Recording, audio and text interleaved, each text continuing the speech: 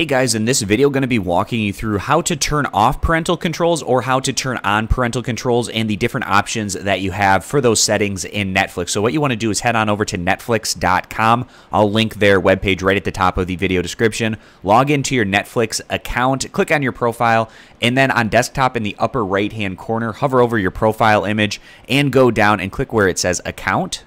Then you want to scroll down to the area that says profile and parental controls. And the account that you want to change the parental controls for, that's the one that you want to click on. So I'm going to do it for the profile named John. So I'm going to click on this little down arrow right here and then go down and click where it says viewing restrictions. Click where it says change.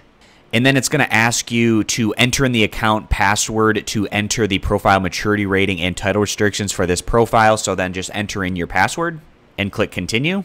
And this line right here is where you can select where the cutoff is for the types of programming that that particular profile is going to be able to view. So all the way from TVY up to no viewing restrictions at all. So you can limit it wherever you want along this particular axis. Now you also can just simply click on this little box right here and that will display the Netflix Kids experience with titles that are just for kids. So TVY, TVY7, TVG, as well as TV PG. Now, another option that you have, let's say you want to limit it to just kids shows, but there's specific kids shows that you don't want this particular person to watch. So then you can also enter in the name of a show or movie and restrict those titles specifically. So let's just say we want to type in Pokemon, for instance.